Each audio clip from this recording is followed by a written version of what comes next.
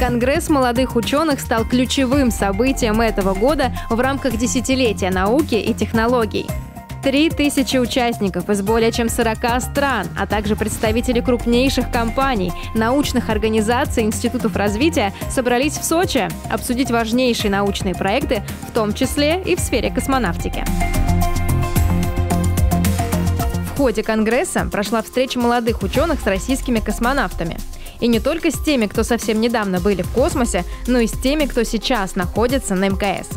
Добрый день, да, молодые э, ученые. Одной из ключевых дискуссионных площадок стала сессия о создании спутниковых группировок. Роскосмос поделился планами на новые проекты в этой сфере и новыми возможностями спутников будущего. Роскосмос уже не первый год реализует ряд программ. Одна программа для нас базовая – это программа «Универсат».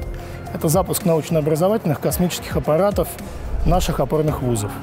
Э, мы поддерживаем программу SpaceP, которую также реализует Фонд поддержки инноваций.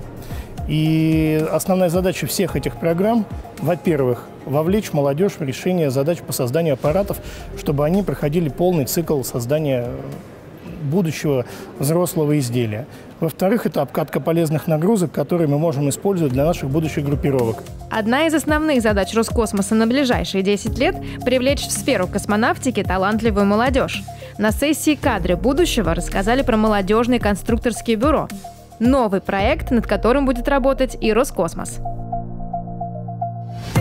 На Конгресс приехали и молодые ученые предприятий Роскосмоса, которые также принимали участие в сессиях Конгресса. Такие мероприятия, как Конгресс молодых ученых, крайне важны, как и для нашей отрасли, так и, в принципе, для научного сословия. Ну, потому что, по большому счету, вы можете быть первоклассным специалистом, но если вы не обмениваетесь опытом, если вы не ведете научную жизнь, ну, будем честны, вы являетесь ремесленником. И весь свой опыт вы можете передавать только вот из уст в уста и показывая, как это делается.